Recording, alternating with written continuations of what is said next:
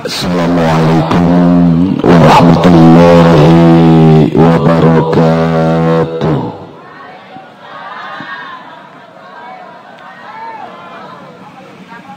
Lah karena ya karena karena ning zaman-zaman segini subhanallah Pak. Ya ketika amalan gula lan panjenengan sami, dongane gula lan panjenengan sami, kumpul-kumpul ya gula lan panjenengan sami, ning kubur-kuburan makanya kan selalu dikritisi sebagai bentuk bid'ah. Apa maning ketika ning kuburan boleh tumpang panggang ayam sesajen kan? Ya iya akhirnya akhirnya masalahnya ya wingin-winginan ya anak suguhan gunung Semeru di Trapukika Nah iyalah maksudnya kalau memang anda tidak setuju dengan hal-hal itu yang nggak usah lah melakukan hal-hal sing ora bagus.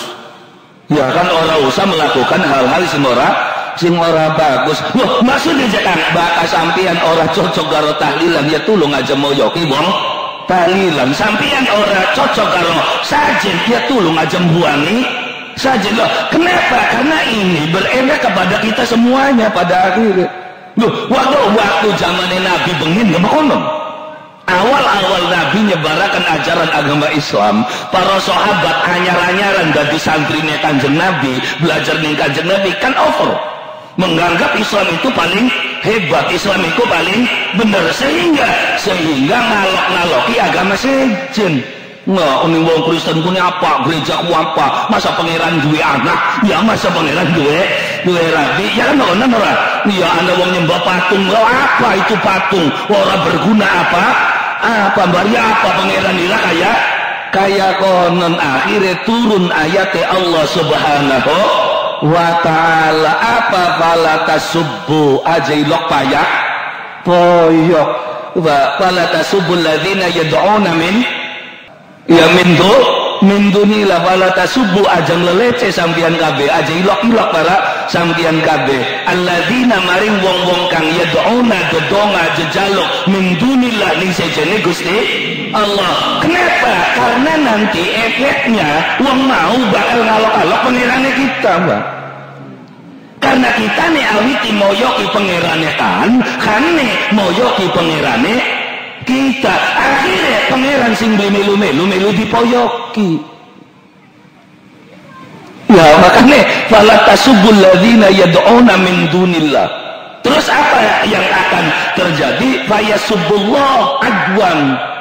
Bighairi nah kok nenek kan mau yoki maning pangerannya kita. Hari sini sih nyembah sapa? Madepe ngulon sing dia detik Ka'bah. Kan pada baik baik kah Waduh, jadi pangeran nira inti, berarti pangeran nira orang akhirnya kan tunda-tundakan pangeran.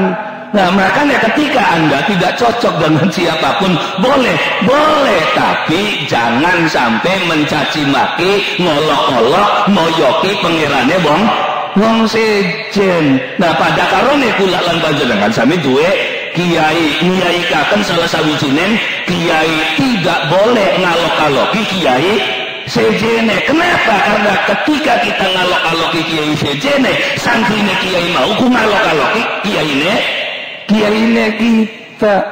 Nah makanya makanya mungkin ya kula lan dengan sami ya belajar hidup berdampingan ketika tidak ada kecocokan justru di sini namanya pembelajaran. Hari pada kage ya orang kudu belajar rumus pada baik. Kage justru pembelajaran itu terjadi di saat ada perbedaan perbe perbedaan makanya aja ilok kayak kayak koyokin kumpul bersama. Kula lan dengan samin dongakaken wong wong tua. Lo sekalipun wong tua kita hebat tapi tidak untuk menjelek-jelekkan dan merendahkan orang tua wong wong sejen Bismillahirrahmanirrahim. Kunyuwun agunipun pangapunten. Billahi hidayah wa taufiq. Assalamualaikum warahmatullahi wabarakatuh.